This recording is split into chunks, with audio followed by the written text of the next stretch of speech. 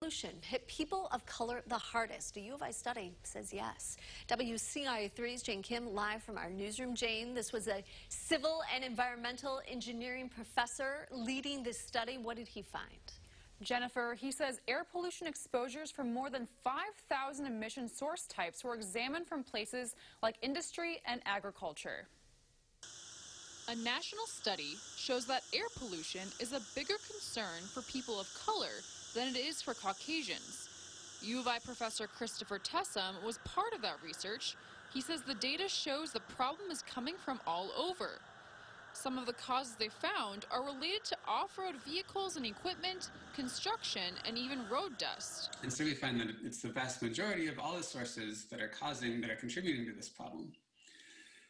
And that there aren't really any of them that are, you know, causing a lot more of the a lot more of the pollution or a lot more of the disparity than, than any other sources. Tessum hopes that with these results, his team can work with those dealing with the problem in the future. One thing that I think should in general be a priority is to, you know, make sure that we're um, going forward working with, you know, the people in these communities and the people that advocate for them and organizations to make sure that we're, you know, trying to implement solutions that are actually useful to them. We reached out to Faith in Place, a local environmental justice agency about Champaign and central Illinois specifically.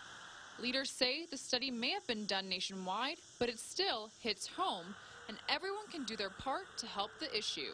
We need to make a policy going forward uh, as we think, shape our energy policy, as we shape our uh, infrastructure policy that will make all of us share the benefits of a cleaner, uh, better future. Faith in Place tells us that Illinois leads the country in the number of fossil fuel burning plants located in communities of color. In the newsroom, Jane Kim, WCIA 3, your local news leader. Jane, thank you. It's one of the biggest